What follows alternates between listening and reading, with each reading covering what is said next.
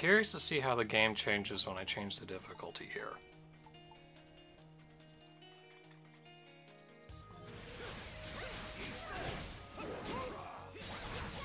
What? Are you kidding me? That's it? The numbers are different? That's the only change? I mean, I know this happened the last couple Ys games, but this is it? Still? The only thing you guys bother to change around is just making the numbers bigger or smaller, and not even by that much? You're not changing the AI of any of the enemies? They're not, like, less aggressive or whatnot? God. Knack 2 of all games knew how to change their difficulty. Knack 2 of all games. This is not how you do game difficulty, guys. Come on.